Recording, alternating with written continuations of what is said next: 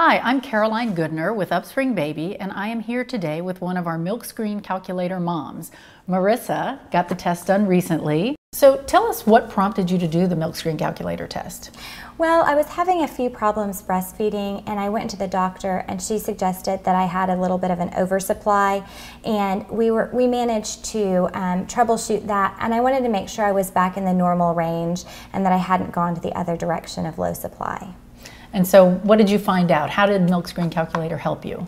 It told me that I was in a normal supply, and that even though I didn't you know necessarily feel like it was normal that the baby was getting the nutrition she needed and that we were at a good place. Oh, good. So now that you've taken the Milkscreen calculator test, would you recommend it to other people? I would absolutely recommend the Milkscreen calculator. It gave me that confidence during transitions, such as teething or introducing solids, when the baby stopped feeding as much as I thought she should, and it made me think that it made me know that my supply was okay. Good. Well, we're really glad that it was able to, to help you and, and give you the information that you needed. And I think it's really interesting that you've helped educate all of us a little bit on, on the possibility of this oversupply situation. And I'm glad everything's back to normal now for you. Well, thank you so much for the test. It gave me some much needed confidence. Excellent. Thank you.